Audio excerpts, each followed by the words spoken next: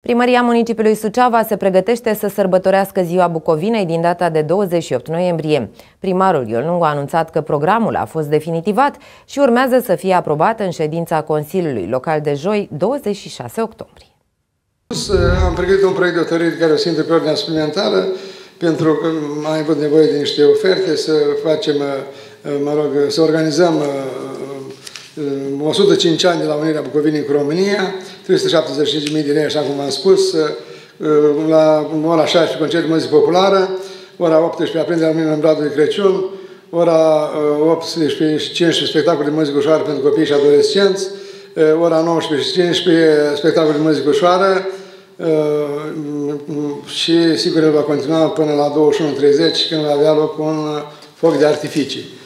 Dacă va rămâne în vigoare și putem să organizăm încă o dată, așa cum spune aici în lege, eu judec că noi suntem acoperiți de vedere legală, având în vedere faptul că ziua Bucovinii nu inventăm nou, este o zi care este recunoscută prin lege. Dar cam asta am vrut să vă spun dumneavoastră azi, dacă dumneavoastră aveți întrebări.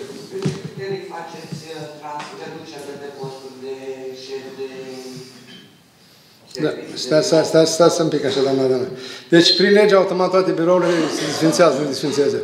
Prin lege toate birou. După care, sigur, cred că de asta sunt uh, managerul acestei primării, știu exact criterii de performanță. Vreau să vă spun că pentru mine nu este un autor. Aici uh, spune că cu excepția celor la final de an, dar nu, nu, nu e număr care. Final de an s-ar subînțelege Crăciunul și anul nou. Mă trage de limbă. Ștefan Bănică Junior, l-am antamat deja că asta e viața, trebuie să faci în timp rezervarea, da? Să vedem dacă e posibil să mai ținem spectacolul. El e piesa de rezistență, ca să spun așa.